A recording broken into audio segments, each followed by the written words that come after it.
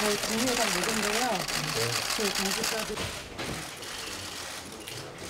네, 오늘 아침 회의장에 들어오면서 우리 언론인 여러분들께서도 어, 보셨겠지만 아, 구조조정에 대해서 우리 이 당직자들이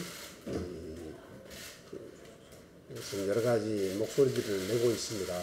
국민의당과 바른정당이 통합하는 과정에서 양당의 당직자들을 예, 합했을 때 그 당직자 수가 아, 거의 한 210명 정도 그래서 적정 규모를 훨씬 초과하기 때문에 당의 모든 경비들이 결국은 당직자 인건비로 충당되는 그래서 정상적인 이 정책 개발이나 어, 당, 당 운영을 할 수 없는 정도에 이르렀기 때문에 에, 저희 바른미래당이 어쩔 수 없이 이 구조조정을 할 수밖에 없는 어, 그런 입장이었습니다. 아, 당직자 여러분들 노조의 입장을 충분히 수렴하고 어, 반영하는 것이 중요하다고 생각하고 그런 점에서 어, 최대한 소통하고 어, 이렇게 해서 이 문제를 풀어가려고 했습니다만 그래도 어, 노조가 둘이고 또 양측 또 이